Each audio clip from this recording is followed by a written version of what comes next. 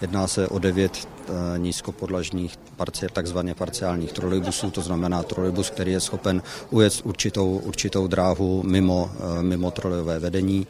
Celková hodnota kontraktu byla 120 milionů, čímž děkujeme dopravním podniku Hradci Králové za provedenou důvěru.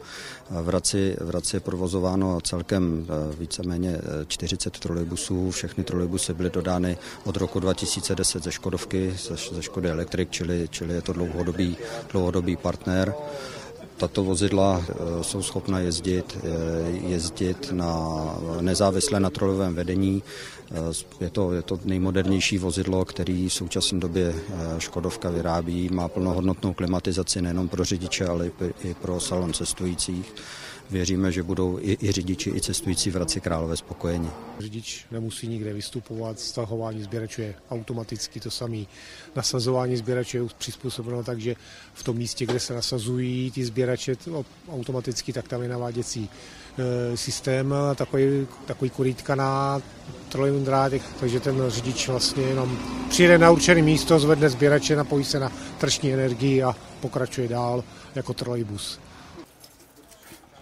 V rámci eh, mého působení v dopravním podniku, když budu říkat od začátku roku, letošního roku, eh, co se podařilo, tak je uvést do provozu eh, zatím 10 elektrobusů, tři naftové autobusy a v dnešním dni 9 trolejbusů s parciálním pohonem.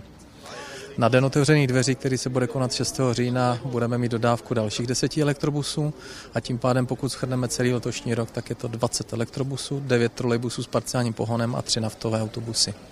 Tím se omladí vozový park na průměrné stáří 7 let a od příštího roku nebo od začátku příštího roku bude 50% autobusů v rámci Hradci Králové jezdit na elektriku, 50% na naftu.